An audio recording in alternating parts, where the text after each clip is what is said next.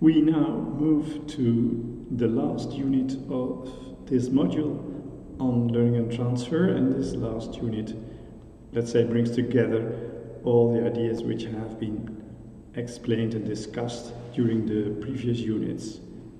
Uh, they are brought together in an advice how to foster learning and transfer. The first step is a proper task analysis. The basis of every attempt to promote learning and transfer is a proper task analysis. What does this entail? Well, first, identify the learning goals of the task, analyze the component skills and knowledge which together constitute the task, and then determine which knowledge and skills are prerequisite and help students then to activate prior knowledge, which is relevant to the task, the learning task. The second step is uh, has to do with practice. After decomposition of the learning task, sequence the component tasks in such a way that basic, simple sub-skills are acquired first, followed by more complex components. Jeroen van Merriënboer developed an elaborate theory on which, on why and how to design an instructional process in an appropriate way, the 4C-ID theory. Then the third step, so to speak, varying cases. Having identified the scope of the knowledge and skills to be acquired, foster transfer by providing cases and problems in such variety that these cases and problems represent the complete domain to which the knowledge and skills are supposed to generalize. So I think you have to map first where you want the students to use the knowledge in which application environments.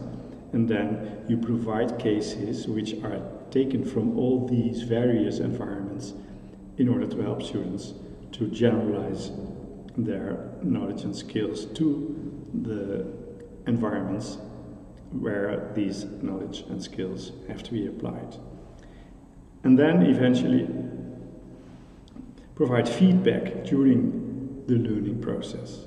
Hattie showed that extensively providing appropriate feedback strongly supports the acquisition of knowledge and skills. Feedback has, has to be direct, immediate, informative, and motivating. That we know from various areas like the behaviorist tradition, like the cognitivist tradition, uh, that feedback should be immediate, should be given right after the moment, so to speak, where some behavior has to be corrected.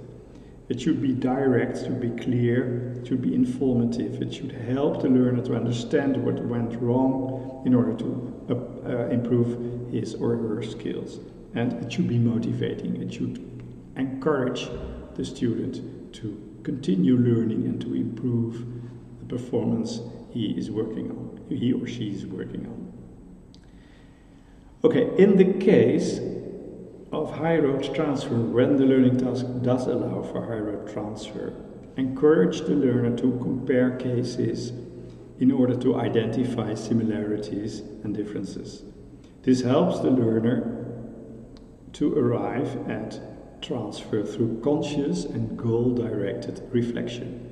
So moving upwards in the learning triangle we have seen to arrive at models or strategies these abstract representations of the task which help the learner to apply it, what has been learned in the learning uh, environment uh, to apply that in the application environment so through the processes as we have seen of induction coming to this strategy and deduction applying the strategy or the model.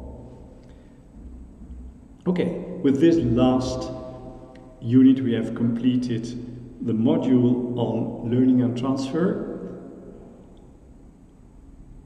and we can proceed to do the assignment.